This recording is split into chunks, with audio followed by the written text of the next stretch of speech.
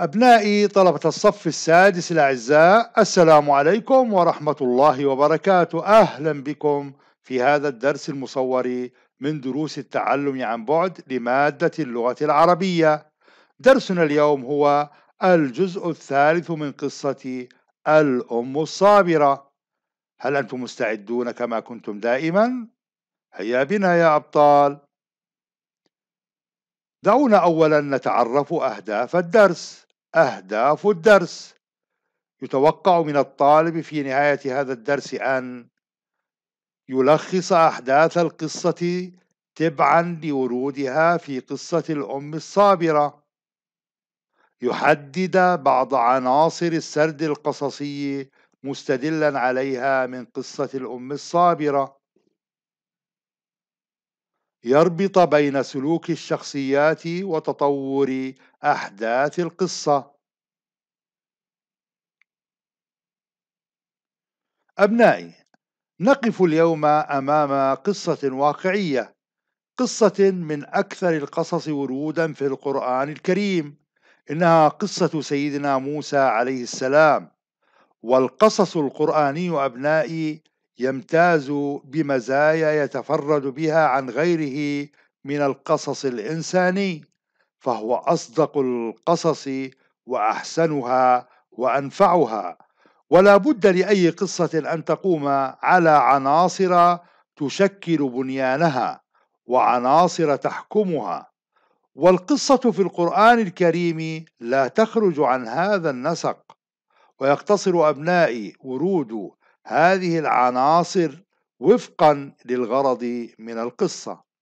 وقصة سيدنا موسى عليه السلام لم تنتهي عند نص القصة التي قرأناها في الكتاب المدرسي بل هي أوسع من ذلك ومليئة بالأحداث على فترات زمنية مختلفة. فارجعوا لها أبنائي وأكملوا قراءتها. في هذا الدرس أبنائي سنقوم بتحليل بعض هذه الأحداث ونقف على بعض تفاصيلها. وكيف تم سردها؟ كما سنناقش الشخصيات التي ورد ذكرها ودورها في توجيه مسار الأحداث. وسيكون أيضا لنا وقفة مع المشاعر التي سيطرت على أم موسى وتبدل هذه المشاعر بقدرة الله ورحمته. دعونا أبنائي الأعزاء نبدأ بسرد الأحداث مع ذكر دليل من القصة عليها. في بداية القصة سرد لنا الكاتب بعض الأحداث وجاءت على هذا الترتيب.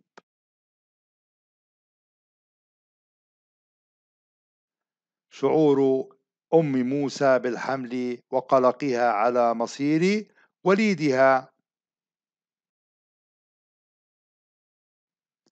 قتل الذكور من بني إسرائيل. الحلم الذي أخاف فرعون. تفسير الكهنة لهذا الحلم. نلاحظ أبنائي أن هذه الأحداث لم يسردها لنا الكاتب مرتبة زمنيا كما حدثت في أرض الواقع. فالترتيب الذي حدث في أرض الواقع هو الحلم الذي أخاف فرعون تفسير الكهنة لهذا الحلم قتل الذكور من بني إسرائيل شعور أم موسى بالحمل وقلقها على مصير وليدها. فبدأ بالحدث الأخير وهذا ما يسمى بالاسترجاع الحدثي أو كما يسمى بالمصطلح الأجنبي الفلاش باك والهدف منه إثارة التشويق عند القارئ. ثم أبنائي بعد استعراض هذه الأحداث تأتي بعدها أحداث أخرى مرتبة ومتسلسلة حسب ما ذكرناه سابقا والآن نأتي إلى شخصيات القصة ودورها في توجيه الأحداث. أم موسى عليه السلام هي الشخصية الرئيسة في هذه القصة أبنائي. وقد بدأ الكاتب بوصف شعورها من بداية القصة. وقد أشار إلى شعور القلق والحزن والخوف والفزع على وليدها الذي رافقها منذ أن أحست بالحمل وقد استمر هذا الشعور أيضا بعد ولادتها فانتشر في قلبها الخوف وشعرت بالرعب والفزع فكان شعور الصبر والرجاء والرحمة فحرصت على سلامة وليدها فأسرعت بالطفل ووضعته في التابوت وألقته في الماء وطلبت من ابنتها أن تتبعه. ثم كان شعور العطف والحنان والرحمة عندما دخلت قصر فرعون واقتربت من ابنها وأرضعته حتى ارتوى. ثم كان شعور الثقة بالله تعالى وأنه لا يخلف وعده. فما كان منها إلا أن تمنعت ورفضت البقاء في قصر فرعون لترضع ابنها ثم انتهت بها القصة إلى الشعور بالرضا والسرور والاستقرار عندما قامت زوجة فرعون بإرسال ابنها معها لترضعه في بيتها.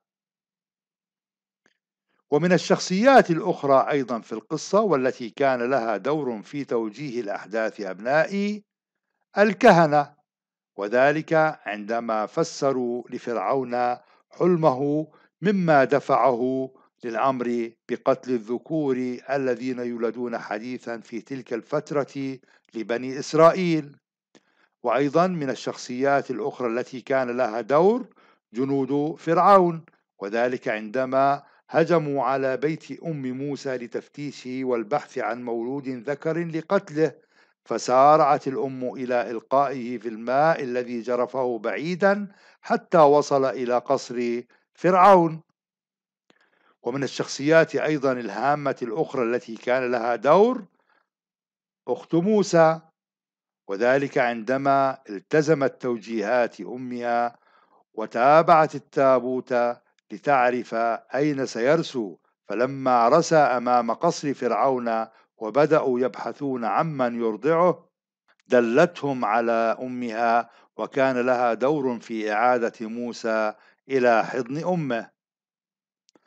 والآن أبنائي أرجو أن توقفوا العرض وتجيبوا عن التدريب الخامس الصفحة 161